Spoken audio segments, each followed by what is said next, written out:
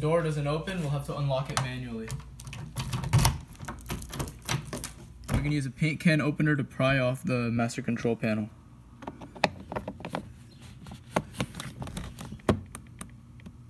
We're gonna disconnect the electrical connectors. There's one in the front and one in the back. Gonna push in the pin behind the door handle and pry it out.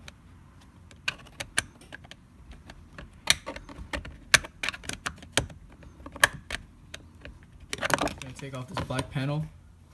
Then we're gonna remove the two screws that were behind the panel. Remove one more screw under the second pocket behind the control panel. Then using a prying tool, pop the front panel off. After prying, just work your way through the bottom. Panel's loose, just lift it up to remove it. We're gonna disconnect the speaker wire, pushing down on this tab. We're gonna remove the door cable the same way you would a bike brake cable. We're gonna set aside the panel.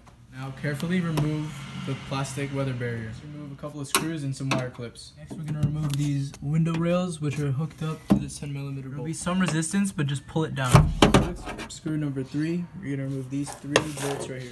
Now we can unmount the locking system. One last piece holding it in together and you're gonna have to flip up the white tab to get it loose and then pull it out. Remove one more metal bar in the back. Disconnect the harness for the black cable. Connect the electrical connectors. Remove the three screws. Two are exposed and two are covered. Next, take the metal bracket off. To remove the actuator, just pry off these tabs on both sides and slide the actuator out. After comparing the two actuators, the old and the new, just reverse the process.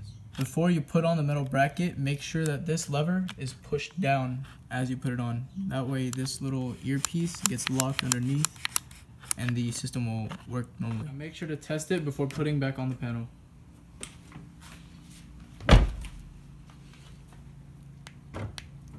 Reminder before you start your work, take a note of the clips. There's one up here by the top, one, two, three, four, six, seven, eight, nine, and ten.